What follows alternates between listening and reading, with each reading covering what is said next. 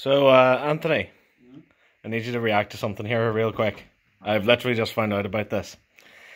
We have a new showrunner for Doctor Who. What? Who's taken over from Chris Chibnall? Okay. Would you like to see who it is?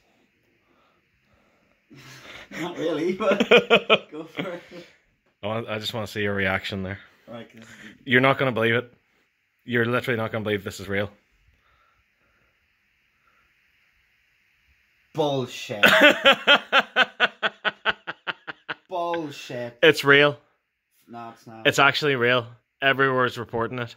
He's doing a Lucas. He's doing a Lucas. come back. He's back! Are you being serious? I'm being serious. Is it one off or is he? No, no, no. He's coming back for the 60th anniversary and then the series beyond. He's back in charge of Doctor Who.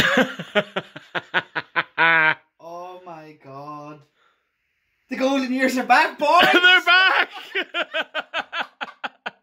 Don't fuck with me, man. This is true. this is real. Holy This is hundred percent real. I didn't believe it. I didn't Why? believe it. I thought it was a joke, and I was like, "Wait a minute, it's not April 1st. Why? I don't know. Because like he's out. He did it. He did it. He did it. He's back. Fuck.